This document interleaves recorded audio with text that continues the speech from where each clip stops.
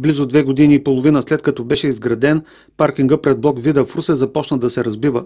В един участък дори има голяма дупка, която според хората не е нормално да се появи толкова скоро след приключване на строителните работи. Некачествено направен. Аз от 8 гледах как го правят.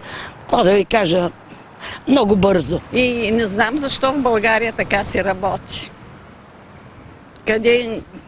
Нямам дум. Жиките бързо прави, бързо се прави, малко трае.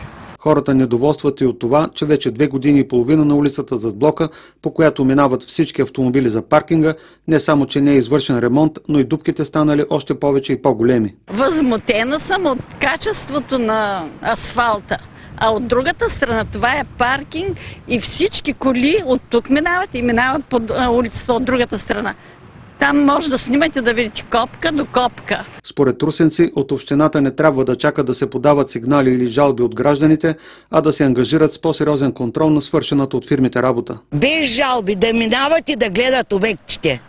Тези, които са ги изградили и са им вземали парите. Според мен от кметството трябва да обикалят. Аз мисля, че тук трябва да има а, срок, а, гаранционен срок.